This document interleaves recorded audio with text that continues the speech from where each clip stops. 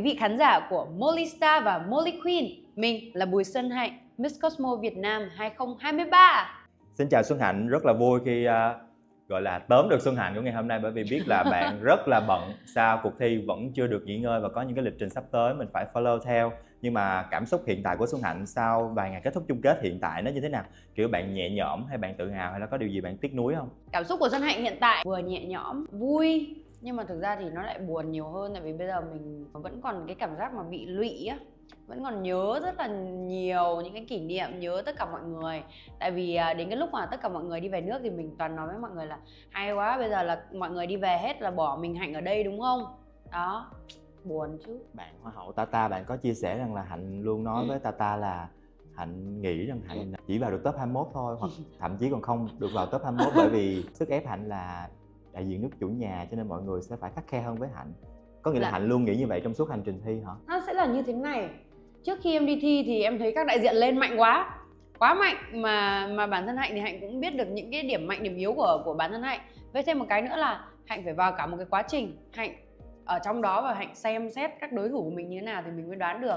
Thì cái suy nghĩ đấy thì nó cho đến khi mà hạnh được ờ, đi một hành trình rồi thì mình nhận biết được là mình ở tầm nào và mình có khả năng hay không thì lúc đó là mình sẽ xem xét tiếp. Còn cái việc mà không nghĩ vào tóc cao là có nha. Hạnh nghĩ cái đấy xuyên suốt trong cả quá trình luôn. Em nghĩ là các thí sinh khác quá mạnh hay em nghĩ rằng là ban tổ chức sẽ phải khắc khe hơn với em?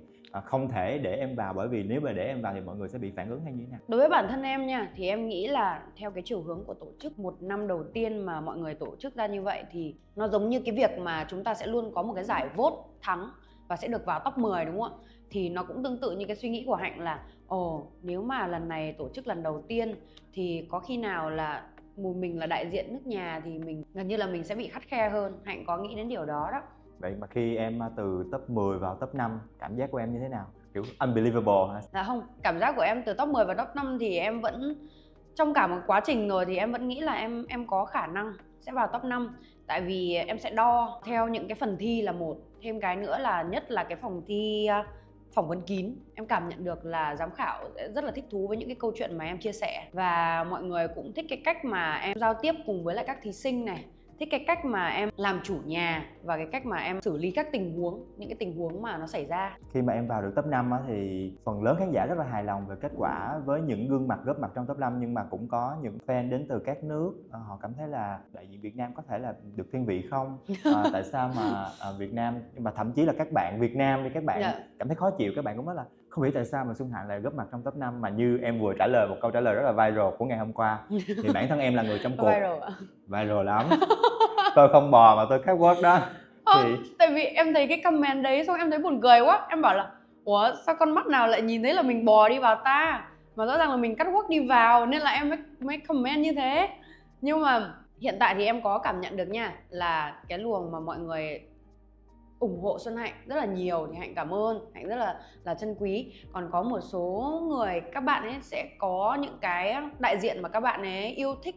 Thì cái đấy là cái sự mà hạnh nghĩ là hạnh tôn trọng với những điều đó. Còn bản thân em khi mà em được uh, xứng tên vào top 5 á thì lúc đấy là wow em cảm thấy rất là vui rất là hạnh phúc. Vì cả một cái hành trình vừa rồi thì mình đã được công nhận và mình cũng đã cố gắng hết sức mình. Tuy nhiên thì bản thân hạnh đi nếu mà được thì hạnh cũng mong là là tất cả những cái đại diện khác cũng có thể góp mặt nhưng mà tuy nhiên chỉ có top 5 thôi. Thì à, mình nghĩ là cái này sẽ là dựa trên kết quả của ban giám khảo cũng như là những con số được thống kê này.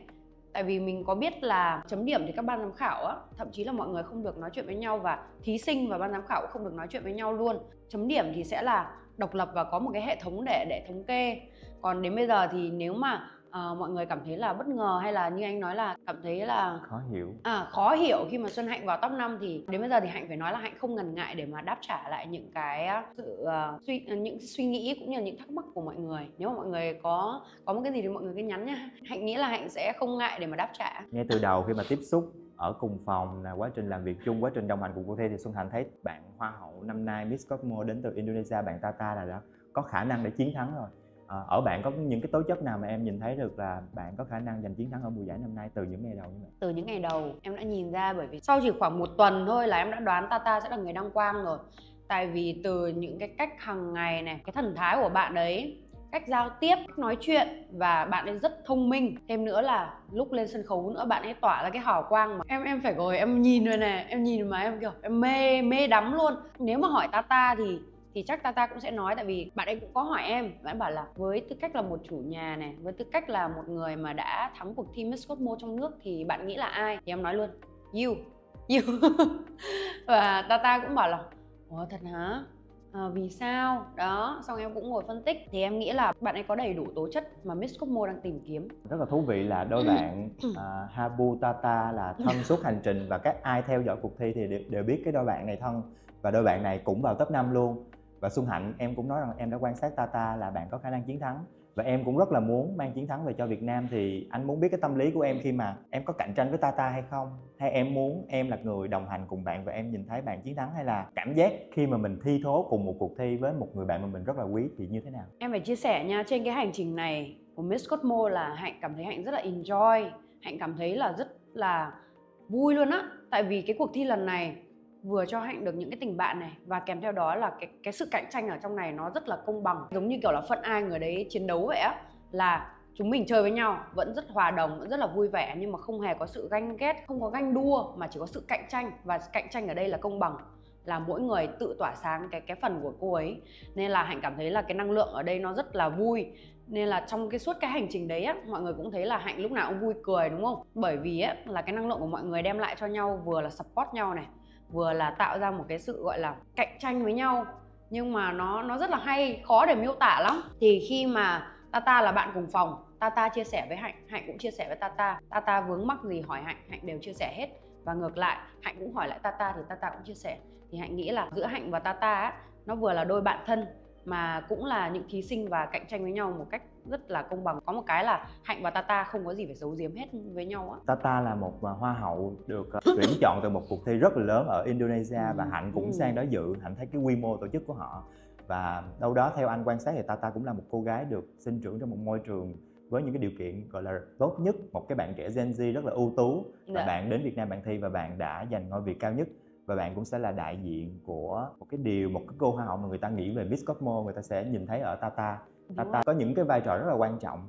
Thì hạnh thấy từ cái con người từ cách sinh trưởng những cái điều mà Tata đã tiếp thu trong thế giới sắc đẹp này so với những cái điều mà hạnh đã trải qua ở Miss Cosmo Việt Nam thì hạnh thấy rằng là còn điều gì ở ở Tata hoặc là ở cái cách tổ chức của Indonesia mà mình cần phải học hỏi? Ví dụ sau này hạnh có thể là giám đốc quốc gia của Miss Cosmo Việt Nam thì sao?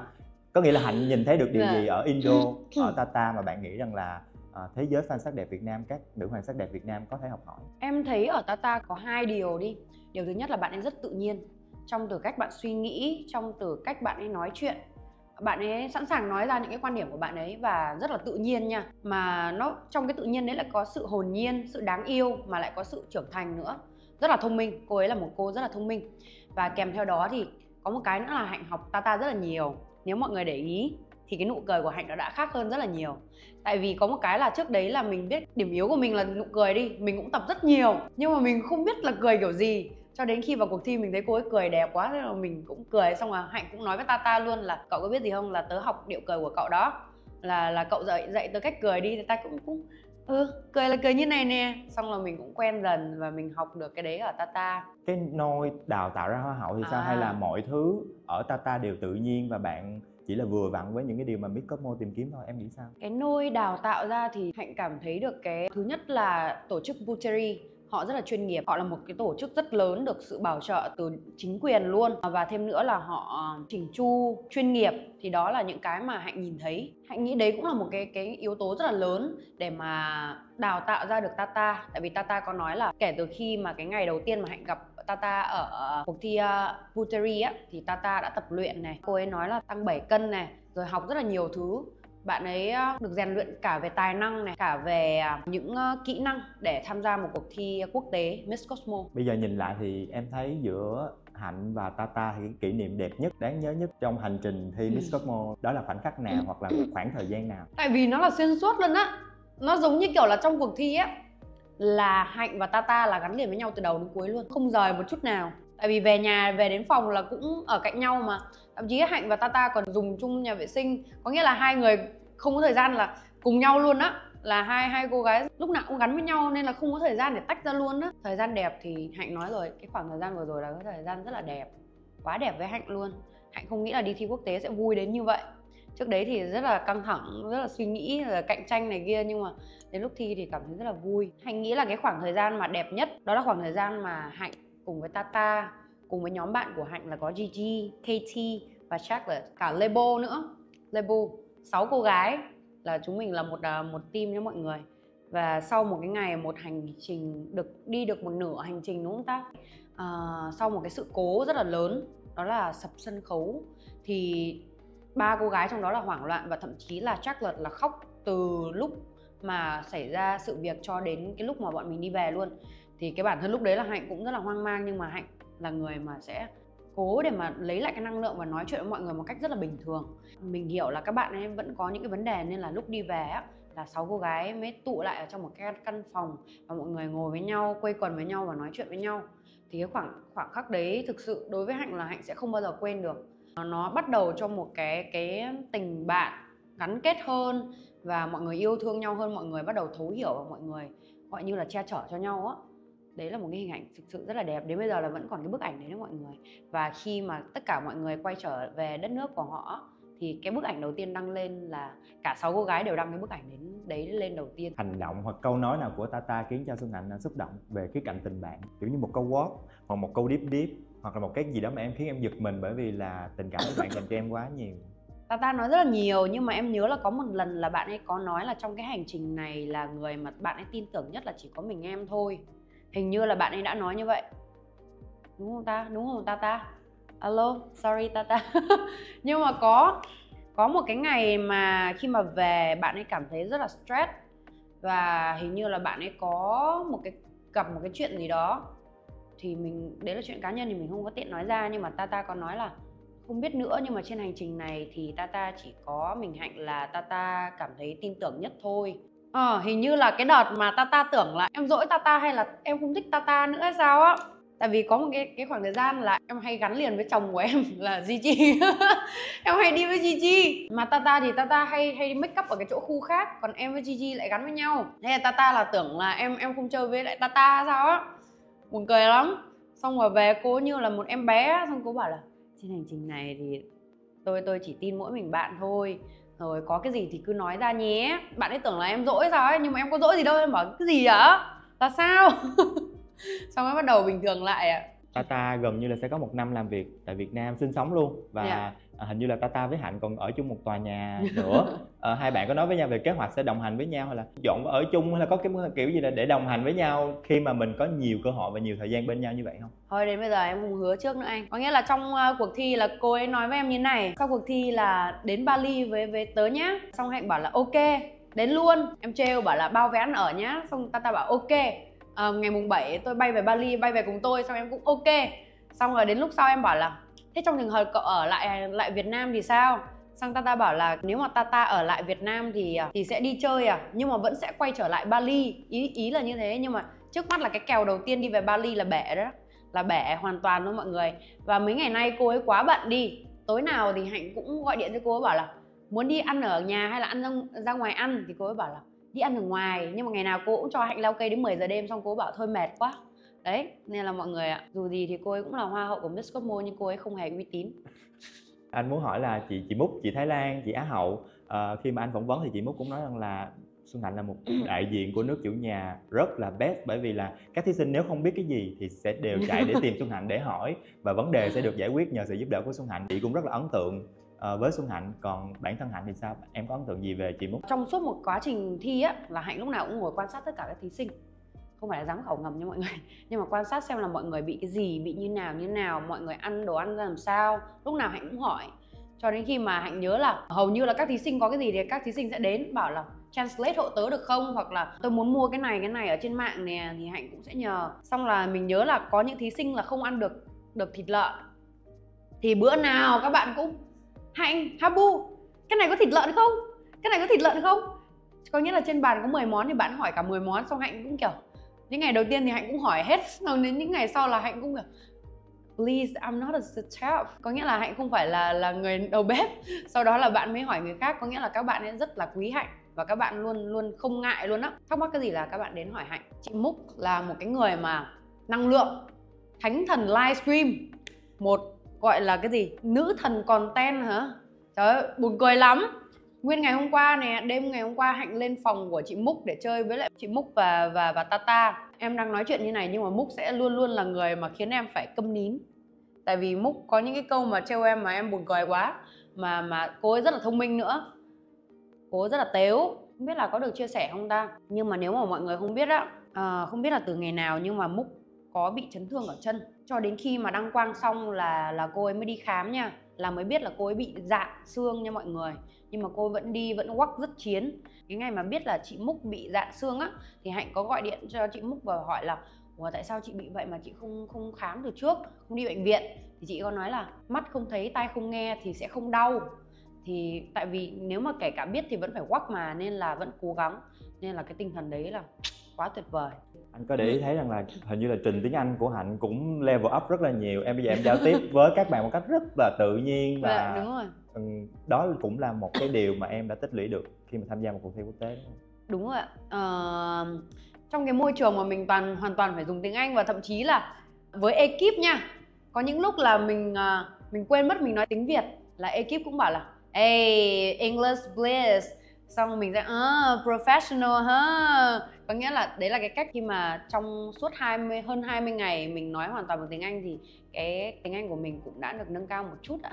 Còn một đại diện hút fan không kém nữa đó là bạn uh, Lekana đến từ Cambodia oh. và Tata cũng có chia sẻ một cái khoảnh khắc là Tata, Xuân Hạnh Lekana cũng hình như có một cái khoảng thời gian ở chung phòng với nhau và mọi người cũng rất là ấn tượng về cái sự chuyên nghiệp và hết mình gọi là gần như là không ngủ gì hết của uh, Cambodia đúng không? Em em nghĩ sao về bạn Cambodia? Em nhớ là em đã từng nói câu này trong chỉ đến ngày thứ hai ở chung phòng cùng với Likana thôi. Em đã là em đã nói là Likana from burden of my heart I admire you so much em đã nói như vậy và và Likana thực ra là và lúc đấy Likana hiểu Likana kiểu oh, no no no đấy là cái giọng của Likana nha uh, no no no. Giống y hệt luôn đúng không? Likana rất đáng yêu. Likana gọi như là cô ấy nói với Hạnh là no. Uh, thậm chí là không cần ngủ được nhưng mà phải đẹp đi ra ngoài đường là phải make up chỉnh chu. Và hạnh nhớ có cái ấn tượng rất là mạnh mẽ là ngày hôm đấy là đi để chụp uh, shoot bikini. Thì là cái ngày duy nhất gần như là duy nhất mà thí sinh không cần phải make up khi đi ra ngoài. Chỉ cần đến phim trường và sẽ có đội make up make ở đấy. Nhưng không ngày hôm đó hạnh vừa thức dậy hạnh mở mắt ra Ligana bước ra với một một gương mặt mà đã đầy đủ gọi là full make up mà make up rất là chuyên nghiệp kiểu là heavily make up á. Ừ, ừ, ừ. hạnh ấy bảo hạnh há hốc mồm về. Và cô ấy đi luôn tại vì cô ấy biết hạnh chuẩn bị nói gì. Và có một hôm nữa là đáng yêu lắm Ligana đáng yêu lắm. Tại vì cái căn phòng đấy là hai phòng ngủ. Hạnh với tata ngủ một phòng, còn Likana và và Emmy sẽ ngủ một phòng. Thì ngày hôm đấy là Likana ở nhóm 1 Likana phải dậy từ 5 giờ sáng mà đi. Thì Likana lại cứ tưởng em và Tata cũng là nhóm 1 xong Likana mới gõ cửa. You group one, hả? Xong em với Tata thì đang buồn ngủ. Hả? Group one. Xong Likana group one. Xong em bảo no no um, me and Tata is like in group two. Xong Likana mới bảo oh ok ok bye bye. Đáng yêu lắm. Có nghĩa là cô ấy sợ em và Tata đi trễ. Nhưng mà thực ra bọn em không phải cùng group. Đó Likana luôn luôn quan tâm và rất là đáng yêu. Câu ngắn là em muốn nói với Likana thì em sẽ nói gì? Likana can you teach me how to make up? You are the number one. Oh my god so professional bên cạnh những cái thí sinh mà anh đã nhắc gồm có Tata này chị Múc và Lekana thì nếu được kể về một kỷ niệm với một thí sinh khác nữa trong cuộc thi mà em cảm thấy rằng là câu chuyện câu chuyện này cần được mọi người biết nhiều hơn thì em sẽ kể về ai? Chồng em. Em sẽ kể về chồng em. Không thực ra là ex husband rồi mọi người ạ. Bọn mình ly dị rồi. Cô ấy lúc nào cũng gặp em cũng bảo là only you. I, I, I just have only you. Tất cả những người khác đều là ex wife hoặc là ex friend girlfriend gì đó à, còn cái kỷ niệm mà đẹp nhất em không biết nữa ngoài cái việc là tính cách của bạn ấy cũng hài hài cũng vô tri giống em. À không nhưng bạn ấy rất là tinh tế nha. Tại vì cái ngày mà xảy ra sự cố á, là bạn ấy là người gọi như là đến chăm sóc các bạn thí sinh khác. Có nghĩa là bạn lúc đấy bạn như là một người gọi là rất là manly luôn á. Thực sự bạn rất là tình cảm. Em nhớ là em có hỏi chi chi là ấn tượng đầu tiên về hạnh là gì? Thì chi chi có bảo là ấn tượng đầu tiên là cái ngày hôm đấy là đi ăn tối và nhìn thấy em ở trong trong một cái bàn á là em em nhìn rất là kiểu tại vì cái, cái cơ mặt của em bình thường là như vậy nhìn rất là kiểu tập trung rất là kiểu là không quan tâm đến thế giới và ăn ăn ăn ăn. Thì bạn ấy bảo là bạn ấy thích cái tính cách đấy của em và thích cái kiểu là à thú vị đó và đó là cái lý do mà bạn ấy bắt đầu đến nói chuyện với em. Hạnh sẽ tiết lộ cho mọi người một thông tin đó là chồng yêu của các bạn sẽ quay trở lại Việt Nam vào tháng 11 này và sẽ ở cho đến tận tháng 1 năm sau và cô ấy có nói là nếu mà hạnh cưới cô ấy thì cô ấy sẽ ở Việt Nam luôn có một cái tình huống xảy ra đó là lúc mà hạnh vào top 5 và thi ứng xử thì nó hơi uh, bối Ừ. rối luống cuốn về phần thông dịch nó ảnh hưởng Ừ. đến thời gian thi của hạnh và phải Dạ. thay đổi về cái quy trình thi của hạnh nữa Ừ. Ờ, nhưng mà bây giờ hạnh có thể khẳng định lại một lần nữa là hạnh hoàn toàn hiểu câu hỏi từ giám khảo anh muốn nghe hạnh chia sẻ về cái sự À. bối rối đó Dạ. Đây, em sẽ xin phép được chia sẻ ha. Thì ngày hôm đấy Hạnh có hiểu câu hỏi hay không? Hạnh có hiểu, câu hỏi ngắn mà. Còn quy trình là gì? Là bởi vì mình đã đăng ký trước là thông dịch viên thì chúng mình cũng đã được rehearsal rồi là giám khảo đặt câu hỏi sau đó là người phiên dịch sẽ nói lại bằng tiếng Việt và Hạnh sẽ trả lời tiếng Việt rồi cô ấy sẽ trả lời bằng tiếng Anh. Thì cái sự cố ngày hôm đấy là gì? Cái thứ nhất là mic của chị thông dịch viên không có nói được và hạnh lúc đấy thì hạnh cứ nghĩ là cô ấy không bật được lên hay như thế nào nên là có cái khoảnh khắc mà hạnh đứng hạnh cứ nhìn hạnh còn giơ tay ra như thế này. Đó là cái thứ cái thứ nhất. Tiếp theo là có những cái câu hỏi của mọi người có hai câu hỏi lớn nhất. Câu hỏi thứ nhất là hạnh có hiểu được uh, câu hỏi hay không thì hạnh trả lời là có rồi ha. Câu hỏi thứ hai là hạnh có phải là một đấy có phải là một chiến thuật của hạnh không? Không mọi người.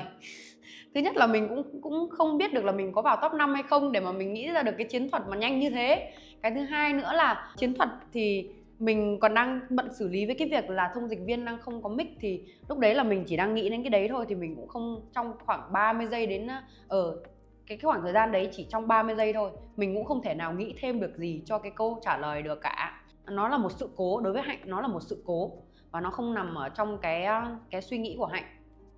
Rồi và sau đó là tại sao mình lại lựa chọn là nói tiếng anh? Tại vì nguyên cái việc là chờ chị chị thông dịch viên chị dịch sang tiếng anh à, dịch sang tiếng việt. Mình đã thấy là mất khoảng ở đâu đó là 10 giây rồi mà chỉ còn 50 giây thôi mà cái khoảng thời gian đấy là rất là quý báu. Nên là trong tích tắc hạnh đã lựa chọn ngay những cái gì mình bách bảo là mình sẽ nói luôn bằng tiếng anh kể cả là khi tiếng anh của mình không tốt đi nữa thì mình muốn là mình nói được nhiều nhất có thể. Đấy là cái lựa chọn của hạnh. Ừ. Hạnh là hoa hậu đăng quang từ Miss Cosmo Việt Nam. Cuộc thi tại quốc gia sẽ tổ chức Miss Cosmo hạnh là lần đầu tiên đi thi quốc tế nhưng mà các thí sinh khác họ đã thi quốc tế rất là nhiều lần rồi. Thì họ review như thế, như thế nào với hạnh về cái khâu tổ chức của Unimedia của Miss Cosmo? Với những cái trải nghiệm của họ trong quá khứ và khi mà họ đến Việt Nam họ thi thì họ chia sẻ với hạnh điều gì? Các bạn thí sinh có nói với hạnh những cái sau. Cái thứ nhất là về à, những bộ hình bộ ảnh video à, make up là các bạn rất là thích. Cái thứ hai nữa là các bạn ấy bất ngờ khi mà kể cả khi mà Miss Cosmo đã gặp những sự cố và hoàn toàn có thể lật ngược tình thế cũng như là chuẩn bị rất là nhanh. Cho đến cái ngày mà hạnh còn nhớ là cái đêm bán kết là chỉ có 48 tiếng để làm nên cái sân khấu đấy thôi. Và tất cả mọi thứ vẫn rất là đẹp và các bạn có, wow, cái lúc đấy là cái năng lượng của các bạn nó bùng lên và các bạn ấy rất là ngưỡng mộ luôn á. Và thêm nữa là các bạn ấy rất là là thương, rất là chân quý Miss Cosmo, tổ chức Unimedia. Các bạn ấy có nói với hạnh là, ồ, bây giờ thì chúng tôi hiểu vì sao mà mà hạnh Habu Habu nói là đây là family của hạnh tại vì các bạn cảm nhận được cái tình cảm đó. Đương nhiên là bên cạnh đó các bạn cũng có những góp ý và các bạn có nói với hạnh.